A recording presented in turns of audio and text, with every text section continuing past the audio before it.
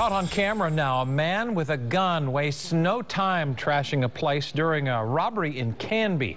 Now, this exclusive video was taken last night at La Mixteca. It's a Mexican market on Southwest 1st Avenue in Canby. The video shows a masked man simply walking up to the counter, taking cash, and then trashing the register.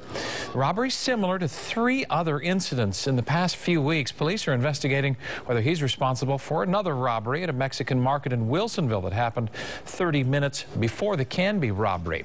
The same pattern was also used in two robberies in Woodburn.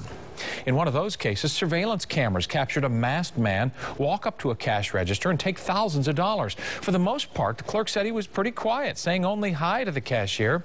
Witnesses say that he had a gun to keep employees from challenging him. Police say that they do not know if this case is related to Saturday's Mexican market robberies, but they say they're looking into whether it's related to the other Woodburn case.